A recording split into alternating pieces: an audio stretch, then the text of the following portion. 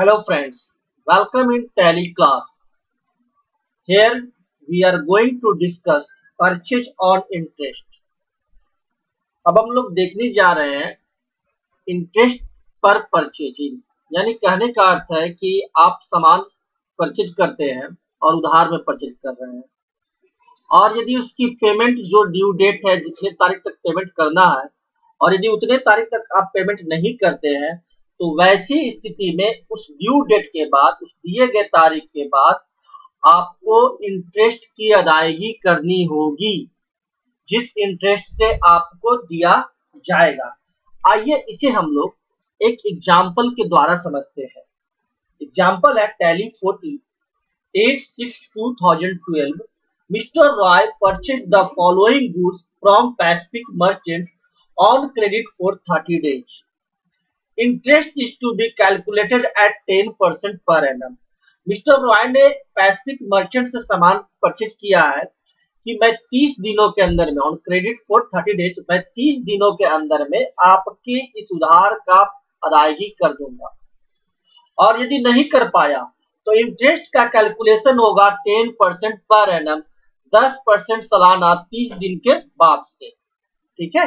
30 दिन के बाद से हमारा डे शुरू हो जाएगा। और जितने दिन बाद मैं अगर कर, पेमेंट करता हूँ उसके बाद तो आप 10 परसेंट पर एनम के हिसाब से आप हमसे इंटरेस्ट लीजिएगा। कौन कौन आइटम परचेज कर रहे हैं? High capacity stabiliser and open well pump high capacity stabiliser लेते हैं 200 piece at the rate of साढ़े छह सौ सिक्स हंड्रेड फिफ्टी इसका टोटल वैल्यू हो जाता है तेरह लाख रुपया और इस पर वैट लग रहा है input VAT 12.5 percent total value हो जा रहा है चौदह लाख छह हज़ार दो सौ पचास रुपया fourteen lakh six thousand two hundred fifty rupees और ओपन वेल पंप है तीन सौ पीस, जिससे कि परचेज कर रहे हैं one thousand six hundred rupees per piece इसका टोटल वैल्यू हो जा रहा है आपको चार लाख अस्सी हज़ार रुपया।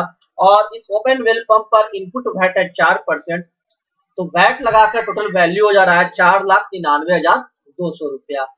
दोनों का टोटल सम अमाउंट हो जा रहा है छह लाख पैंतालीस ग्रॉस सम टोटल हो जा रहा है छह लाख पैंतालीस हज़ार चार सौ पचास रुपया।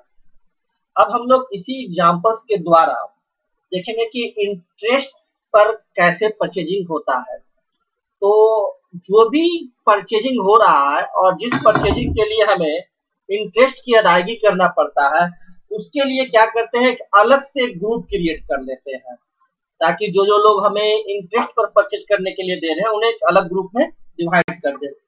तो इसके लिए क्या करेंगे कि क्रिएट करेंगे group interest creditors under sundry creditors sundry creditors में ग्रुप क्रिएट कर लेंगे इंटरेस्ट क्रेडिटर्स नाम से, और इसी इंटरेस्ट क्रेडिटर्स में एक लेजर क्रिएट करेंगे पैसिफिक मर्चेंट्स जिससे कि हमें ये परचेज करना है। तो आइए इस प्रोसेस को अब हम लोग करना शुरू करते हैं। इंटरेस्ट कैलकुलेशन के लिए हमें सबसे पहले तो इंटरेस्ट को एक्टिवेट करना होगा। तो एक्टिवेट करने के लिए हम लोग क्या करेंगे? यहाँ इस गेटवे ऑफ़ टैली जो दिखाई दे रहा है, इसमें राइट साइड में जो बार है, यहाँ पर हमारे को F11 फीचर्स है। तो कीबोर्ड से F11 दाबिए। या इस F11 फीचर्स पर क्लिक कीजिए माउस से। F11 फीचर्स क्लिक करते ही हमें कंपनी फीचर्स का इन्फो खुल जाता है। गेटवे ऑफ़ टैली में कंपनी फीचर्स का इन्फो खुल जाता है और यहाँ अब हम लोग अकाउंटिंग फीचर्स पर इंटर बटन प्रेस करेंगे। इंटर बटन प्रेस करते ही आप देखिए अकाउंटिंग फीचर्स हमारे को खुल गया है। अब यहाँ हमें खोजना है कि इंटरेस्ट एडवांस्ड पैरामीटर और इसी खोज करके हमें यस कर देना है। तो देखिए अकाउंटिंग फीचर्स में आप आउटस्टैंडिंग मैनेजमेंट में जब आइएगा तो यहाँ देखिए सेकंड है ऑप्शन है एक्टिवेट इंटरेस्ट कैलकुलेशन नो है। अभी तक हम लोगों ने इंटरेस्ट का कोई कैलकुलेशन की आवश्यकता नहीं पड़ी थी। जितने भी परचेज किए थे, वो बिना इंटरेस्ट पर थे। उसमें कोई ड्यू डेट नहीं था।